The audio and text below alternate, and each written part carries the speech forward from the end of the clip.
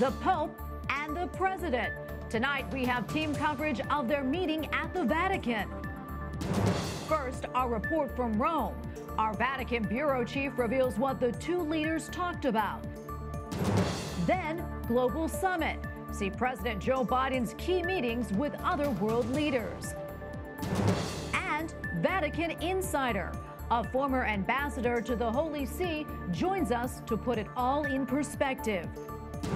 You're watching special coverage on EWTN News Nightly for Friday, October 29th, 2021.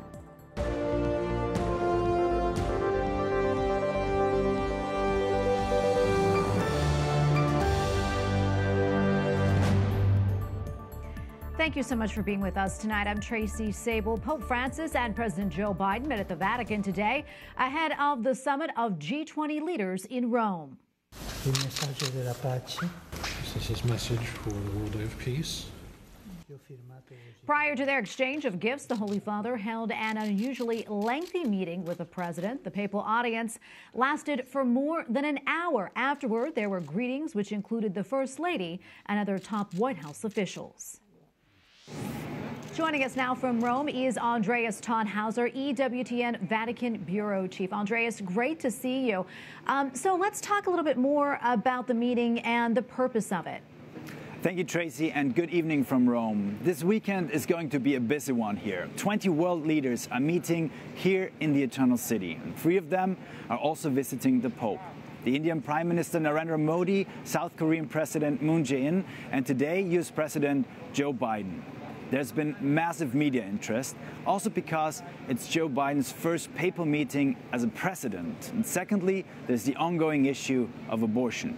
At this point, we have no clear information if they've touched upon this topic during the meeting, which was not an official state visit, but a private encounter with His Holiness. The main topics that were discussed, according to a brief statement from the Holy See, were related to the G20 summit, the climate, how to fight poverty, and migration.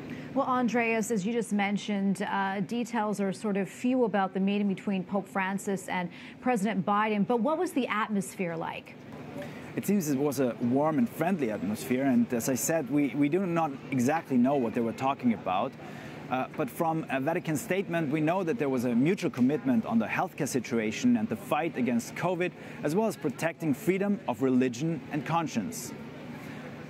Interestingly enough, during the last few days and months, there were several signals also from the Holy See that Pope Francis was not going to change his clear stance on the protection of life. And as you mentioned this week, he blessed the so called Bells of the Voiceless from Poland, promoting the protection of life from conception to its natural end. And secondly, on a papal flight coming back from Slovakia in September, Pope Francis said in response to a journalist's question that abortion is more than an issue. Abortion it's murder. And thirdly, earlier this month, the Vatican condemned a controversial anti homophobia bill that was presented in the Italian Senate. So it's very clear that Pope Francis supports life, whereas President Biden has been publicly pro abortion. And Andreas, before I let you go, you mentioned that the Holy Father received other visitors today. Uh, what more can you tell us about their visits? Well, seen from a global Christian perspective, the visit of India's Prime Minister Narendra Modi might be even more significant. He leads the world's largest democracy, which, according to international human rights organizations, is growing more and more hostile towards religious minorities. Also, Catholics suffer from an increasing anti Christian sentiment. Modi's own Hindu nationalist BJP party is promoting a pure Hindu nation void of any other religions and President Biden praised the Holy See's firm stance on religious freedom and human rights. Hopefully, that will also be a topic in tomorrow's encounter. Well, Andreas, thank you so much for that report this evening. Andreas Thonhauser, EWTN Vatican Bureau Chief. Thank you again. Thank you. President Joe Biden's spotlight on the world stage continued throughout the day as he met with other world leaders around gathering in Rome for this weekend's G20 summit. White House correspondent Owen Jensen continues our team coverage tonight. Mr. President, did the issue of abortion come up at all? No, it didn't. It came up, we just talked about the fact that he was happy I was a good Catholic and I should keep receiving communion. President Joe Biden tells reporters about his extended meeting with Pope Francis. The president also met with the Vatican's top diplomat, Cardinal Pietro Parolin serves as the Holy See Secretary of State. The two were joined by U.S. Secretary of State Antony Blinken and National Security Advisor Jake Sullivan, among others. The White House says they discussed the climate crisis, global support for vaccinating the developing world against COVID 19, and religious freedoms. According to the White House, President Biden thanked the Vatican for speaking out on behalf of the wrongfully detained, including in Venezuela and Cuba. From the Vatican, the president's lengthy motorcade took him to private meetings with other world leaders, among them Italy's president and prime minister, who are hosting the Group of 20 summit. The White House saying President Biden expressed gratitude for Italy's contributions to NATO and for providing temporary shelter to over 4,000 Afghans en route to being resettled in the United States in August. President Biden also met with French President Emmanuel Macron, together smiling with arms on each other. But reporters shouted questions about the relationship asking if it's repaired after the U.S. angered France over a secret U.S. British submarine deal with Australia. The contract cut out France. Is America really back? And then inside, the two sitting side by side, President Biden calling France an extremely valuable partner, acknowledging the U.S. was clumsy in its handling of how the submarine deal went down. The French lost out on more than $60 billion from the submarine deal. President Biden did not formally apologize.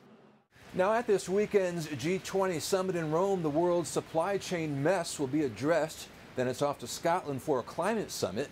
President Biden returns to Washington next Wednesday. At the White House, Owen Jensen, EWTN News Nightly.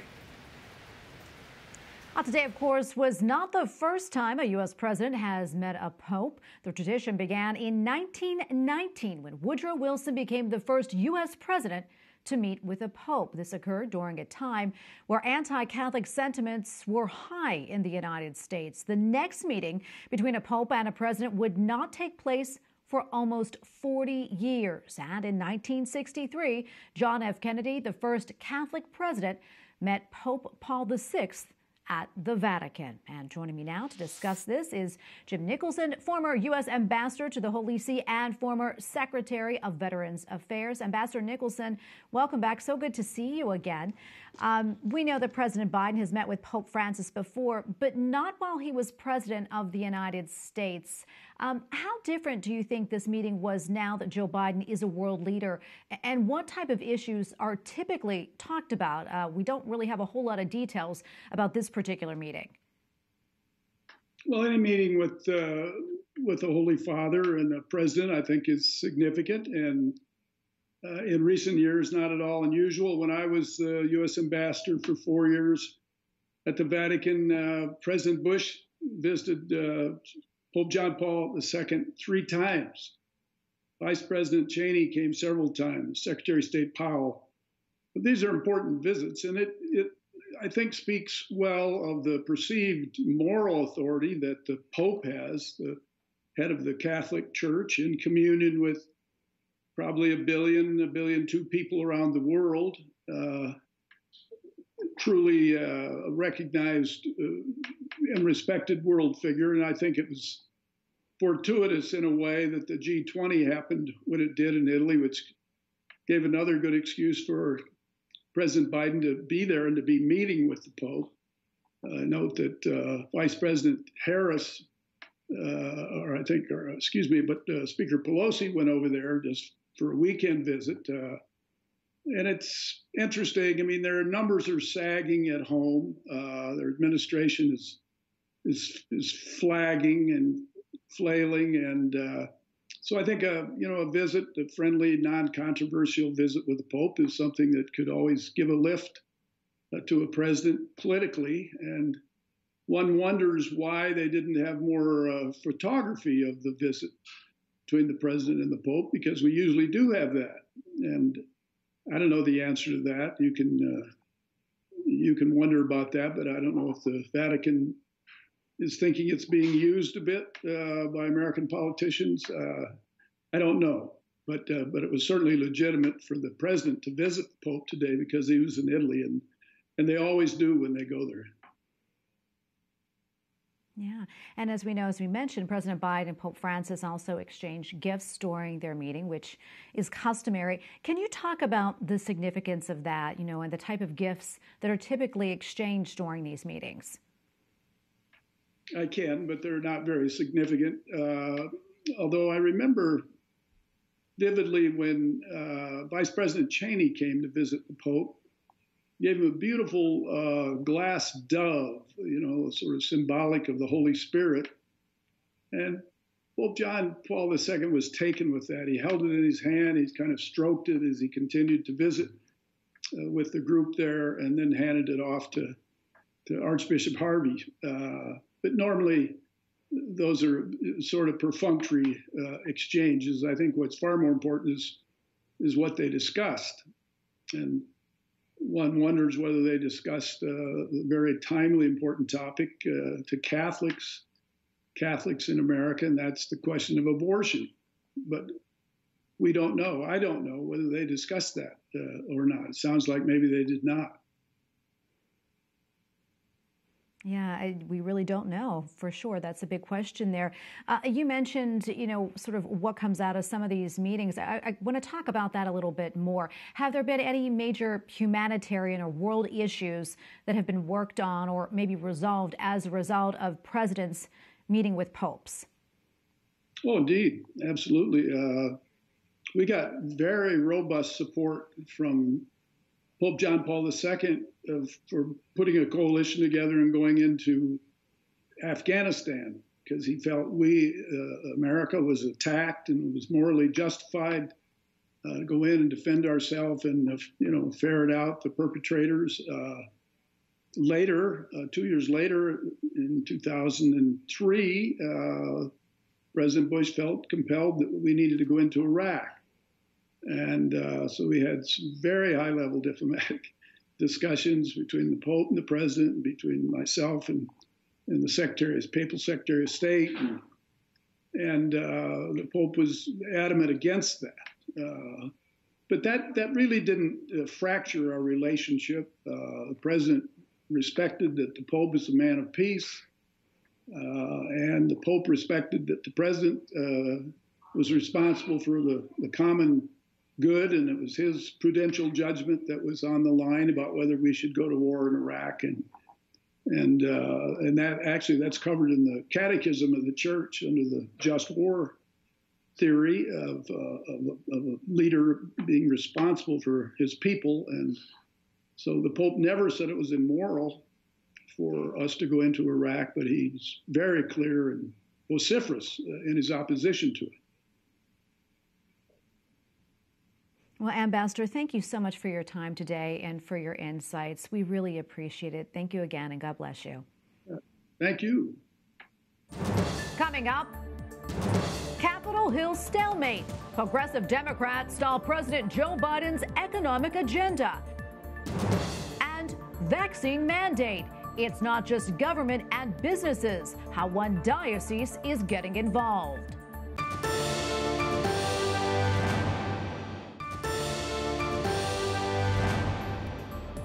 The night before President Joe Biden met the Holy Father, a U.S. cardinal said Catholic bishops have, quote, a sacred duty to apply canon law to pro abortion politicians when it comes to giving Holy Communion. In a statement, Cardinal Raymond Burke writes pro abortion lawmakers, quote, have in fact contributed in a significant way to the consolidation of a culture of death in the United States. The 73 year old calls it a matter of life and death for the unborn.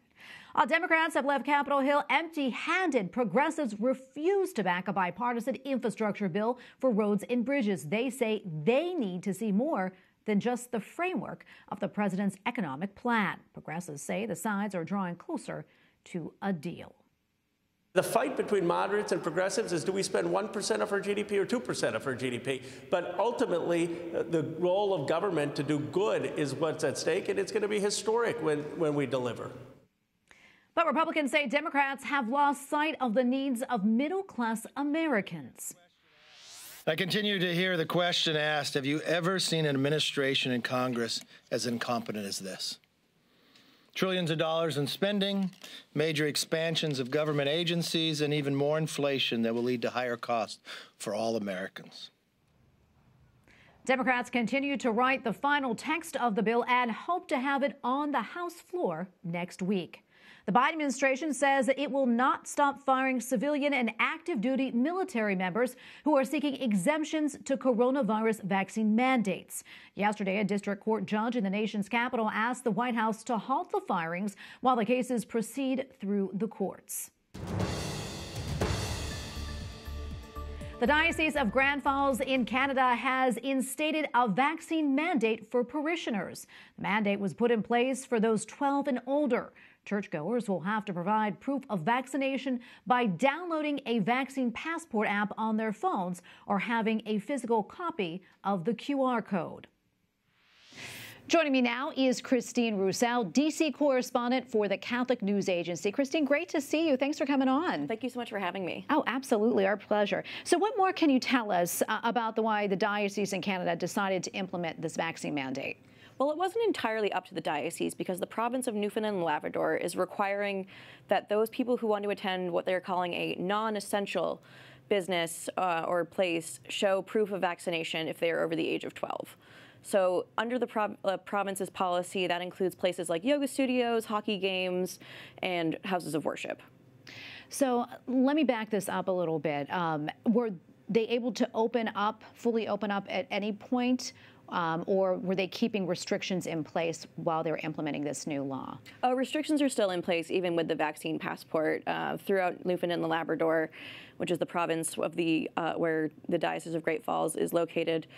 People who, who attend Mass still have to wear masks. Um, the Diocese of Grand Falls still has a prohibition on congregational singing uh, 50% capacity. It's kind of almost like how this area was last year, and it's still the restrictions are still very heavily in place, even with the vaccine mandate. They, masks are still required. So things really never really got back to normal at all. Not really, no. At least not on an official level.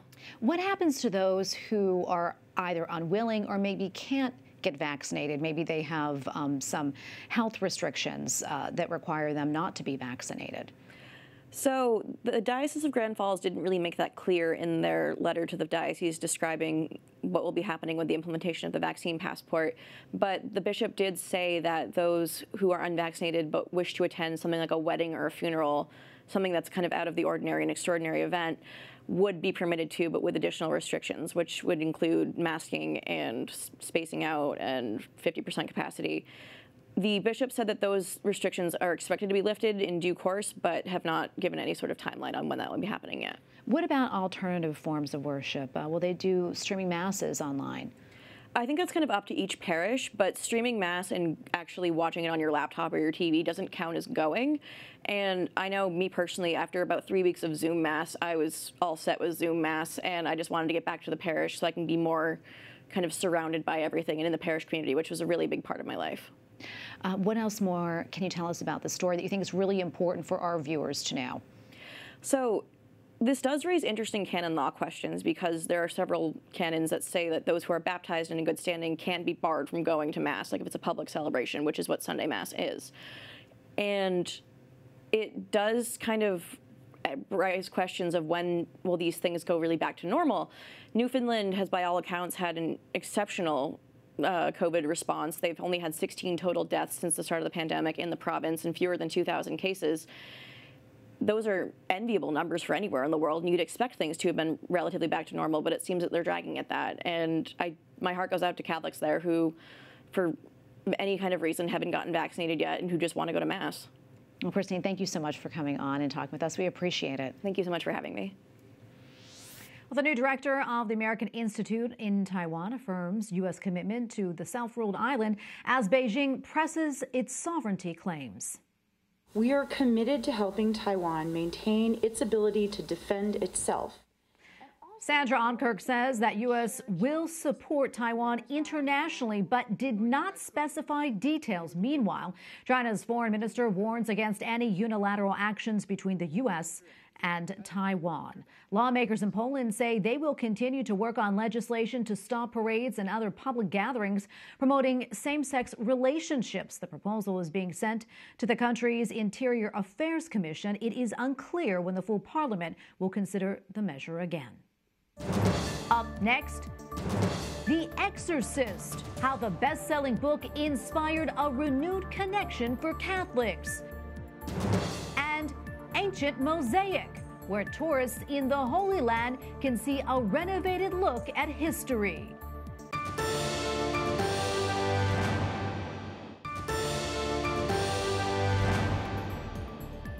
50 years ago, The Exorcist was published. The best selling book became an award winning movie and also inspired many people to turn back to their Catholic faith. Correspondent Mark Irons reports on the real life work of exorcisms in the church today. These stairs are called the Exorcist Steps on the campus of Georgetown University, made famous after appearing in The Exorcist, an award winning 1973 film. When it came out, many flocked to the box office, but others recall staying away. I was afraid to watch it. Why are you afraid to watch it? It was scary. The movie, inspired by events reported by more than 10 witnesses. On August 20th, 1949, a Washington Post article caught readers' attention. Boy has been freed by a Catholic priest of possession by the devil, Catholic sources reported yesterday. William Blatty, a Catholic student at Georgetown University at the time, heard about it. Years later, he would write The Exorcist, a novel inspired by the reports that was then adapted for the big screen. Bill's hope that The Exorcist might enkindle people's faith was abundantly fulfilled. Blatty died in 2017, but his wife Julie says over the years he received letters from those impacted by his work. Scores of people wrote to, to him to tell him of their first visit to the confessional in years, after seeing the movie or reading the book, At the Catholic Information Center in Washington this week, Julie Blatty was joined by others to commemorate 50 years since her husband's novel was released and the details of the reports that inspired it. all the things that happened were very typical. This is not an unusual case. Monsignor Stephen Rossetti and Monsignor Charles Pope, appointed as exorcist in the Archdiocese of Washington, reflect on the real life work of casting out demons. The, the demon takes possession of a person's body and they, they, they manifest, they speak and act through the body of that person. During an exorcism, special prayers are used by a designated priest. The Catechism of the Catholic Church states exorcism is directed at the expulsion of demons or to the liberation from demonic possession through the spiritual authority which Jesus entrusted to his church. Nobody drives out a demon but Jesus. And if the priest does it, it's only the power of the Lord. Monsignor Pope says about 90% of the cases he encounters can be explained by mental health or psychological related reasons. And for those actually possessed, he says they most likely invited evil in, using things like voodoo, witchcraft, Ouija boards, or tarot cards. Monsignor Rossetti reminds all to stay close to the sacraments and prayer, and says we should not be afraid because Christ has overcome evil. So if you haven't been in a while, go to confession. You know, uh, you know, practice the faith, live a good life, and trust in Jesus. So. In Washington, Mark Irons, EWTN News Nightly. And finally, tonight, a newly renovated ancient mosaic e is now open for tourists to see near the ancient city of Jericho. The stone mosaic is part of Hisham's palace. It contains intricate, multicolored geometric patterns and dates to the reign of a Muslim Arab ruler in early 700s. Located below sea level in the West Bank, Jericho was featured in last Sunday's Gospel, where Jesus heals blind Bartimaeus. And we thank you for watching tonight. For the entire EWTN News Nightly team, I'm Tracy Sabol. Good night and God bless.